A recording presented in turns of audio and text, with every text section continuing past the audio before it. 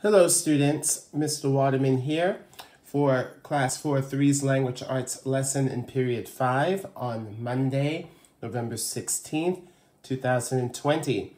Let's continue. So, we started reading Owl Moon last week, and we only got a few pages in.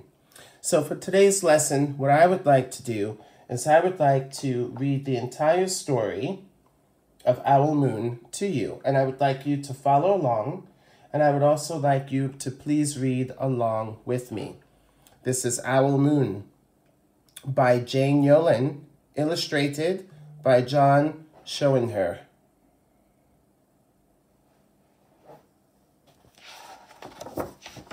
Owl Moon.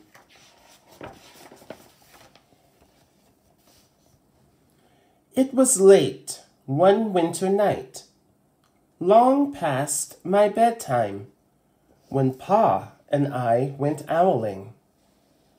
There was no wind. The trees stood still as giant statues, and the moon was so bright. The sky seemed to shine.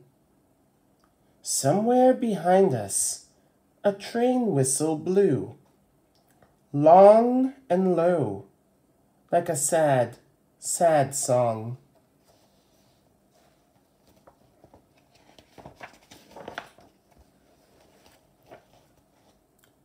I could hear it through the woolen cap Pa had pulled down over my ears.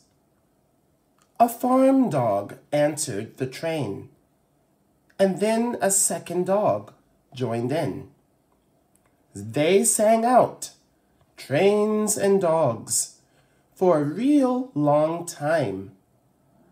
And when their voices faded away, it was as quiet as a dream. We walked on toward the woods, Pa and I.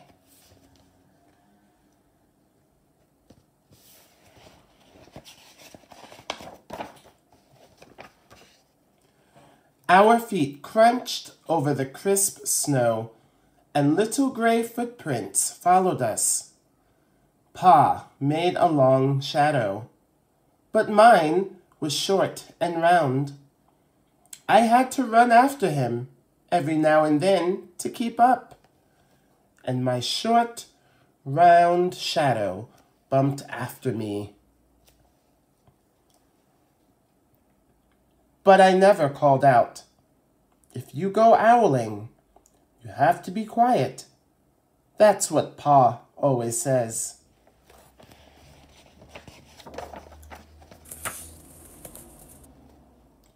We reached the line of pine trees, black and pointy against the sky, and Pa held up his hand. I stopped right where I was and waited. He looked up, as if searching the stars, as if reading a map up there. The moon made his face into a silver mask. Then he called, Hoo, hoo, hoo, hoo, hoo, The sound of a great horned owl. Hoo, hoo, hoo, hoo, hoo, hoo.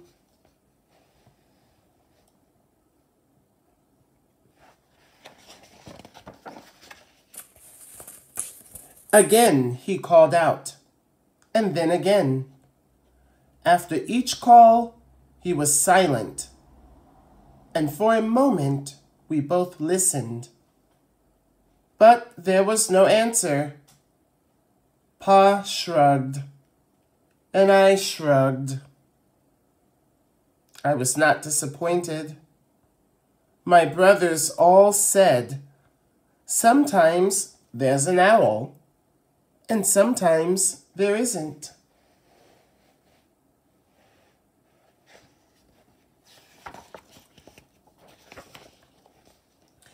We walked on, I could feel the cold as if someone's icy hand was palmed down on my back and my nose and the tops of my cheeks felt cold and hot at the same time. But I never said a word. If you go owling, you have to be quiet and make your own heat.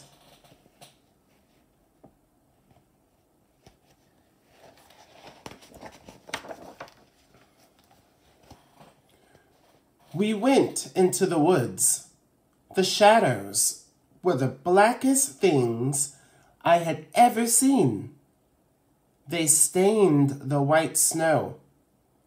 My mouth felt furry, for the scarf over it was wet and warm. I didn't ask what kinds of things hide behind black trees in the middle of the night. When you go owling, you have to be brave.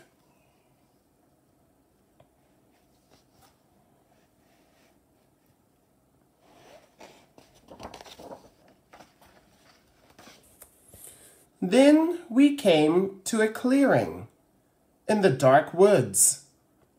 The moon was high above us.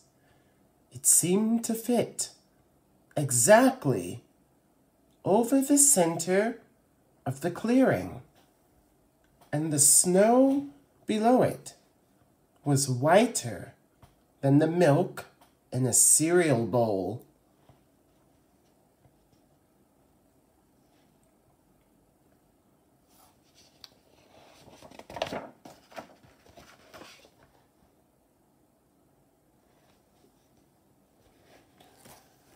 I sighed, and Pa held up his hand at the sound. I put my mittens over the scarf, over my mouth, and listened hard. And then Pa called, Hoo hoo hoo, hoo hoo hoo, hoo hoo hoo, hoo hoo Ooh. I listened and looked so hard. My ears hurt and my eyes got cloudy with the cold.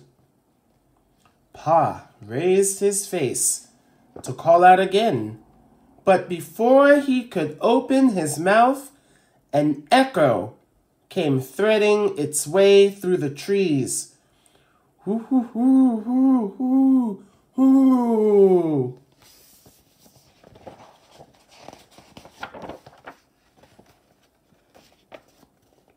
Pa almost smiled. Then he called back.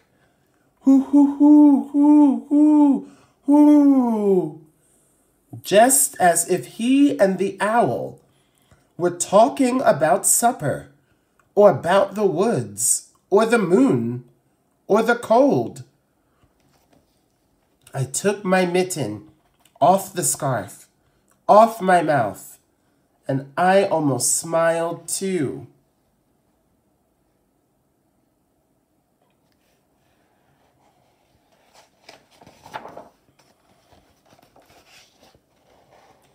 The owl's call came closer from high up in the trees on the edge of the meadow.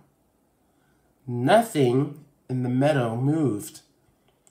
All of a sudden, an owl shadow, part of the big tree shadow, lifted off and flew right over us. We watched silently with heat in our mouths, the heat of all those words we had not spoken. The shadow hooted again.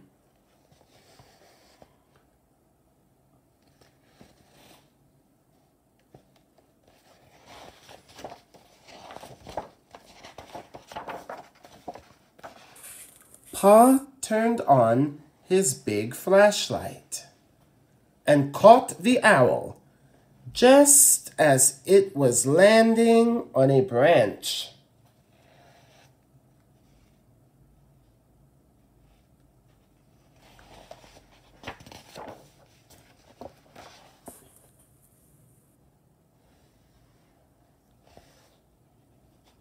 For one minute, three minutes, maybe even a hundred minutes, we stared at one another.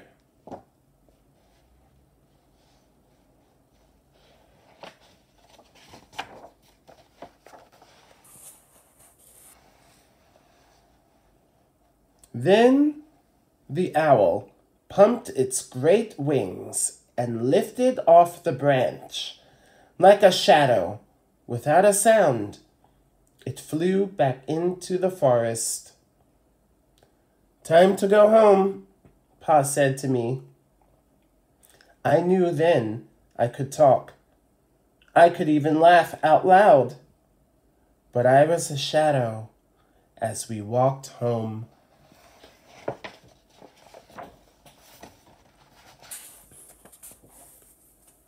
When you go owling, you don't need words, or warm, or anything but hope. That's what Pa says. The kind of hope that flies on silent wings under a shining owl moon. And that's the end of our story. I hope you liked it we're going to be working with an activity workbook this week and next week about this story, Owl Moon. What I want you to think about is, would you like to go owling? Now, I remember last week, many of you wanted to know why owling was a verb. Well, it's an activity where you go out to look for owls, kind of like fishing. Fishing is a verb. It's an activity where you go to catch fish. Would you like to go out owling? Out in the forest in the wintertime in the cold? With your father? Or how about with everyone in your family? Think about that. Please take your time and reread the story by yourselves. Read it out loud. And if you have any questions or if there are any words that you have a difficult time with, write those words down on a piece of paper or in a special notebook, and then you can look up the meanings to those words. I'm available if you have any questions. I hope you enjoyed today's story as much as I enjoyed reading it. Take care, stay safe, be well, and talk to you soon. Bye bye.